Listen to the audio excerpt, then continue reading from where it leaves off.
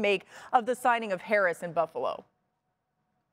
Well, first of all, I like the signing because it's a result of Boogie when we went back in the studio on the Monday after the Patriots played the Buffalo Bills and the Patriots decided we're not going to throw the ball at all. We're going to run it 117,000 times against the That's Buffalo an Bills. Number. And Damien yeah. Harris was a, Damien Harris was a big part of the success that they had on the ground. So they had a really good idea of how physical of a runner he was.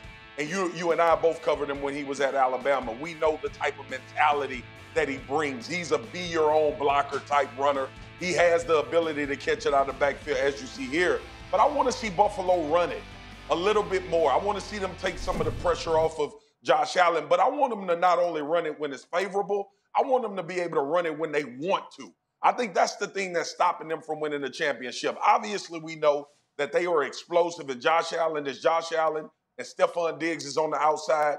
But coincidentally, I, I continue to watch these Super Bowls and I continue to see people at times have to run the football in order to protect themselves and get another team out of the way. I want to see if Buffalo can establish that this year. Thank you for watching ESPN on YouTube. For live streaming sports and premium content, subscribe to ESPN Plus.